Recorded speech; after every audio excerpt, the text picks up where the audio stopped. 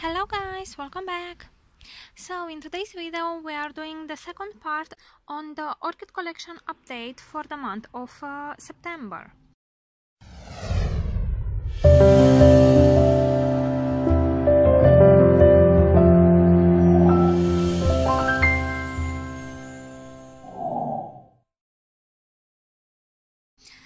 Uh, here I have my Laeliocattleya caridad's mini queenie Angel Kiss. Uh, I have actually divided this orchid into two separate pieces and it has responded really well. Um, I divided her because uh, she had a very very long stem in between the pseudobulbs and uh, yeah the orchid was looking like a straight line and I don't like that look on orchid so uh, I decided to separate it. And as you can see hmm, let me focus here in the back, uh, the back uh, part of the orchid is producing a new pseudobulb which will produce roots, so that is very good. And the front part it's uh, maturing this growth, and uh, here on the base it's starting a new growth. Also, I have discovered she has quite a lot of roots, which is very very good. And um, here we have that white Cattleya no ID that we bought from um, Orchid Garden and uh, it was infested with fusarium if you remember. As you can see actually right now on the screen uh, she is producing uh, some very very nice roots. They're all over.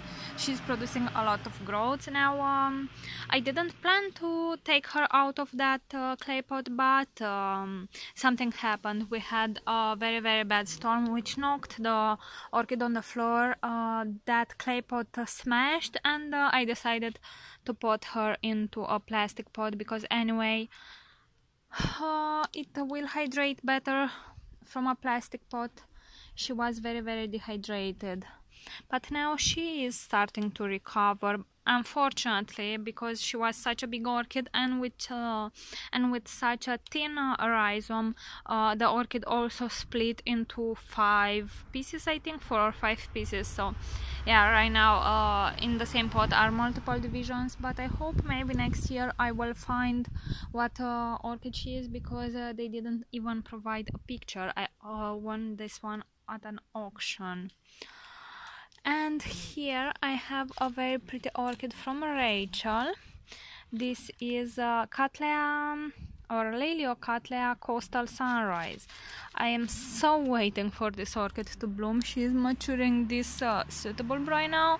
The, this orchid wasn't uh, doing very good uh, before the season but now she is starting to recover. The pseudobulb uh, so the bulbs actually plumped back up and uh, yeah she's growing this growth and uh, another one here.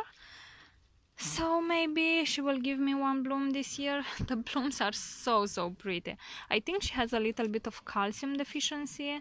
I will try to take care of that but first i need to order some uh, calcium nitrate. Okay uh, here we have another amazing orchid this is my Cattleya Shingfong orange with uh, which just uh, matured this pseudobulb which uh, has this very very nice sheet and she has some buds there inside. Uh, these leaves that uh, you see I cut yeah I needed to work on the windows here well not me the workers and um, I covered the orchids underneath with a bag but I didn't really realize that the sunlight will hit that bag and that was way too hot for them so some uh, leaves got burned and uh, well I just cut them because they were ugly. Anyway the pseudobulb is so so plump and she grew this in uh, like four months for me and right now she's uh, pushing buds but she she's also growing this new pseudobulb at the base so that is very very nice. And here I have another very pretty uh, orange cutlet This is uh, cutlet Chief Sweet Orange and she just matured this pseudobulb. Again, uh, I have some weird marks on some cutlets and I'm not very sure why. I need to really take a look at them because, um, well, here in Romania we sometimes have uh, hailstorms and that uh, can lead to some uh, weird marks on uh, orchid leaves, especially cutlets are uh, very affected by that, but uh, this has some discolorations on the chlorophyll, so I will try to separate this one, apply some nitrogen to see if maybe she has a deficiency. And uh, although this is the newest growth so I'm not very sure about that but anyway uh, if not uh, I will um, keep her separate because uh, viruses can make also chlorophyll um, out not outbreak so. Anyway I will show you on the screen what I'm talking about. I'm just not remembering the name of that specific uh, phenomenon. And here we have my Laelia purpurata variety in color. She is right now growing this huge huge growth. I'm trying to stake her a little bit. And this is the biggest pseudobulb that this orchid ever produced and uh, she's growing a lot of fruits. She's starting also a new growth here and I cannot wait to see this orchid again in bloom because she's amazing. Okay down here we have my cymbidium it is growing so so many growths. I needed to up pot the size of the pot because um, it was uh, getting uh, quite small for the size of it. And um, yeah he's quite dusty but uh, i will shower it uh, before i bring it uh, back inside. In late autumn and uh, he's growing a lot of growths here. He's still starting new growths. He's growing all over the year for me. He doesn't have that uh, cycle very defined but he's also pushing up uh, already some spikes. I hope this year they will get to develop because last year he did produce um, about five uh, spikes but they dried up. They uh, were like this and then after that they just uh, started to dry off and uh, I wasn't very sure uh, why was that. I um, kept him uh, very close to my heater so maybe that was the cause. Actually that is a very likely cause but uh, this year I will keep him in my balcony and he will do good. So if he will dry again the spikes he will go into the trash but won't be my fault anymore about the spikes. It will be something uh, wrong with the orchid okay here it's a huge huge mass of um, dendrobium nobiles. Uh, they're quite unruly right now and uh, you can see they're still growing. Some need actually more water that, than I can provide to them and uh, they are already in semi-hydro so I'm not sure what I can do more than that because the reservoir isn't getting empty and uh, just you to see how big this is this little plant here. It is my dendrobium spring dream apollon. And i'm so waiting for this uh, thing to bloom this spring because um, he has so many canes from which he didn't bloom that uh, he should make such a nice spectacle this year. So I'm re really looking forward for that. And here we have my uh, Dendrobium Berry Oda he has grown about uh, 10 or 11 new canes this year and I am very looking forward for the spikes. He doesn't have any more mites so this is good. Uh, here is my uh, Brassavola cucullata. It's growing uh, two new growths at the base and it's starting to push up some very nice roots there, which is good because it didn't had any roots. And here we have an amazing orchid. Uh, this is hail damage, what I was saying. Yeah, we have sometimes hailstorms and uh, they leave nasty markings on the leaves, but uh, yeah, I yeah. If you want to grow orchids outdoors you have uh, pros and cons and uh, yeah this is one of mine. Anyway he is producing two new growths and as you can see I have a lovely lovely spike here. And I have on this side two more spikes on this other growth. Hope you can see that. I need to move this one uh, to a better location and here we have my uh, Dendrobium Yellow Magic Festival. He's still uh, growing actually. So I'm not sure when I will get to give them the winter rest. Because uh, for me they grow all over the year. So uh, I think um, I will try to apply uh, Rogers conditions for Dendrobium. And uh, he will get only what uh, nature provides so uh, less uh, light and uh, cooler temperatures but uh, that will be pretty much all. And of course less fertilizer. I'm not sure how I can give uh, winter rest on orchid that is still pushing up new growths. If you see the Dendrobium Spring Dream Apollon then there on the base, here it uh, is still producing a new growth. And these are not uh, matured yet so yeah. They are growing and growing never stopping. Mm, this pretty one is my dendrobium sweet pinky love. It's growing such uh, nice canes this year and i really hope to get him to bloom. He produced six canes for me.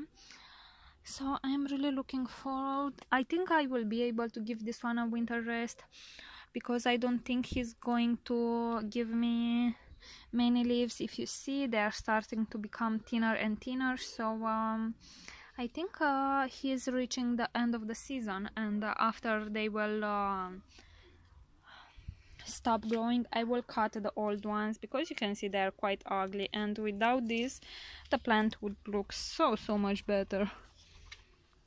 Anyway okay this is an orchid that I kind of messed up. This is Dendrobium Yasuko Sugiyama March and I got this one from uh, Ecuagenera and uh, it was starting to recover finally. And when I have uh, changed the pebbles, I wanted to cut some uh, dead roots. But uh, I managed to cut uh, also a very very big root with branching branches and um, it was uh, kind of his only root so I am hoping this growth and this one at the base will uh, will push up some roots. Wait oh yeah. It is already starting to push up new roots so that is good but uh, anyway uh, I need to stake this one a little bit and uh, see after that. I won't uh, put this one into winter rest just because he's not that healthy so he doesn't need that. And here I have my uh, Dendrobium phalaenopsis. This is an OID it matured this growth and this growth this year. Uh, okay. Here is my uh, Beallara Peggyroot Carpenter Gem and uh, I'm waiting for a spike from this orchid I hope it will start to push it soon, it should, it always does, and after that I will put it on sale because I don't want it anymore. They just uh, sell much better uh, if they are in spike or in bloom. Yeah, not yet. Here I have a back division from my uh, Zygopetalum Trozy Blue and uh, because the back part of the orchid was infected with Fusarium uh, the rhizome is still affected and it uh, did try to produce some uh, new growths here but uh, they obviously dried up and the roots too so um, yeah I guess uh, they won't uh, push up any more new growths but I will keep it until they will die. I, I don't need to give him any special care so he will just stay here until at least I need to bring all the orchids inside and after that I will decide here is another uh, Dendrobium phalaenopsis, no ID. Uh, he's still ve growing very very nicely. This is that uh, Brassia verrucosa that I got from John and uh, I separated uh, this bulb from the other one. This is the new growth and uh, if you see the roots aren't doing really all that good. Uh, they start to get very um, I don't know how to say that, but uh, they are not very healthy, and is uh, producing a new growth again from this new growth. So it is very very stressed. It is infected with fusarium, so um, yeah I uh, right now I am leaving the um, cut here in the rhizome to get uh, completely healed and after that I will put uh, this one again in semi-hydro this area doesn't uh, receive all that much sunlight. This is why I actually cut it because uh, the bulb was uh, hmm, was rotting off which is uh, not good at all. It tried to produce a new growth from the top. They actually had a growing point here but uh, this is uh, completely dead that this won't develop at all. It just doesn't have from where to take off energy anyway.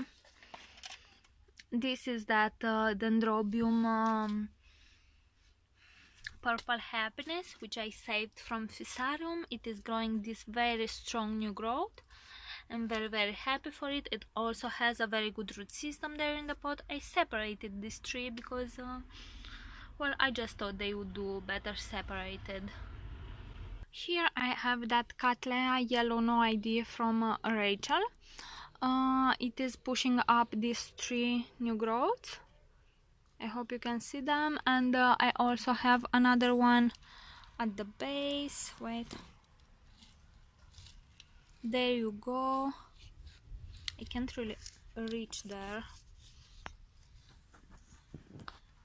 there you go. And uh, it also has uh, matured these two pseudobulb this year so that would make six pseudobulbs. And the season is not yet over which is good for me. I hope I will get some blooms from him. Uh, here I have my very very pretty Brassavola yellow bird. You can see she is in spike. Uh, I uh, now have uh, three spikes as you can see but unfortunately here on the top uh, I have one bud blessed here and one here. I think she got uh, too much sunlight. The buds are uh, sensitive to very strong sunlight so uh, I will bring her inside. But I also have this growth with a sheet. This uh, I can see here inside the sheet this one this one and this one. She's growing about uh, 9 or 10 growths at a time and she is uh, already starting to produce some smaller ones here. Wait sorry. Here and uh, I also saw some in the back. I have one here.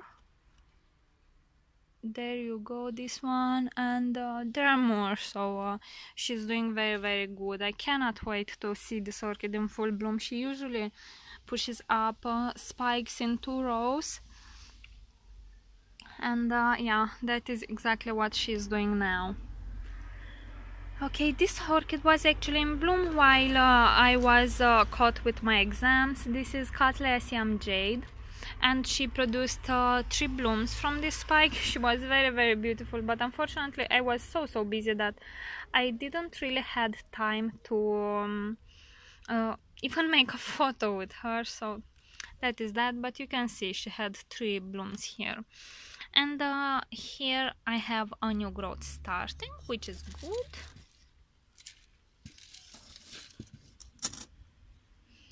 Okay here I have my Cattleya mossiae variety Alba. This is such a crazy orchid. She produced uh, three or four growths this year this this and this I think so. Yeah three three growths are already matured. When I have uh, repotted her uh, I've moved her in semi-hydro and uh, some roots died which is normal of course but uh, she was a little bit stressed. She stayed uh, three weeks on transport so that is quite a lot of time. But now she's producing one two three four.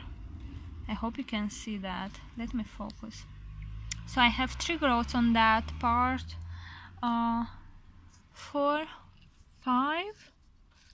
And I saw a sixth one. Anyway five or six growths from uh, this tiny little orchid which is uh, quite amazing. I'm quite happy with my feeding regime. So yeah this is hail damage. Yeah uh, this uh, Cattleya Jackie uh, I actually found an ID for her and I'm waiting for these buds to uh, to start to develop more. I want to do an ID video for her. Now we are waiting for the blooms. This is a new acquisition. You didn't really get to find out about about her because uh, I was uh, studying in this period so this is my Brassavola David Sander. I purchased this orchid um, from uh, Orchids and More and uh, she's doing very very good. I have repotted her in semi-hydro. This was uh, one year from flowering size. I have a new growth on the base and some roots starting to grow nicely on uh, inside the pot so that is good. Okay here is a little bit crowded. This is that uh, beautiful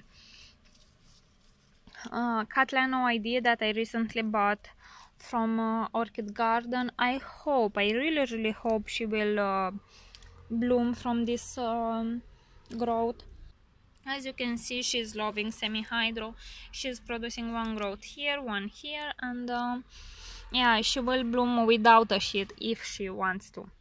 So yeah really looking forward for that.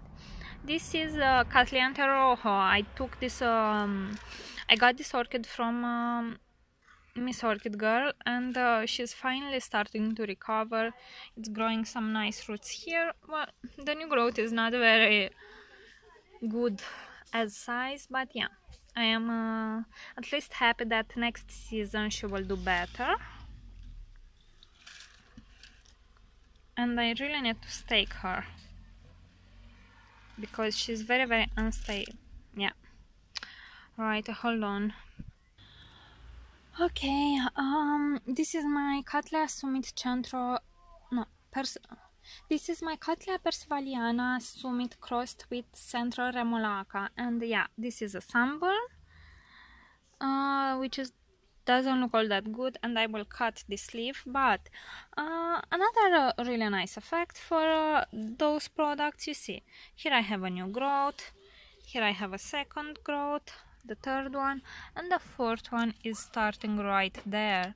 She's in semi-hydro she has a lot a lot of roots. Wait so she's doing very very good. Now i'm not really sure what uh, these are supposed to be because this is a unifoliate cattleya but uh, yeah she decided to produce something that looks uh, as a second leaf which uh, is quite odd because as a size is more like a sheet so who knows? Maybe she wants to bloom and here is my Cattleya harrisoniae alba hybrid. Is uh, growing a very very nice new growth here.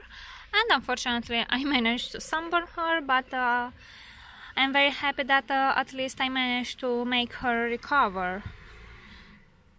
She didn't had all that many roots last year. Here is my Aliceara Tahitian Dancer. I got this one from Rachel and uh, it grew this pseudobulb this year it's growing this two new growths growing here a spike and if we look here uh, no just one spike but maybe it will be a strong one. That is my hope. And uh, the last orchid for this uh, second part it is uh, this um, BLC Picotee Passion SVO that stands for uh, Sunset Valley Orchids and it's uh, finally starting to pick up growth. Is growing these two new these two new growths here and is pushing up some new roots which is good. Unfortunately when I have received this orchid was looking like shit. It didn't have any roots. The pseudobulb were uh, the pseudobulbs were uh, paper thin and uh, she looks uh, like she also has a fungal disease or a virus which um, it's not that good I guess.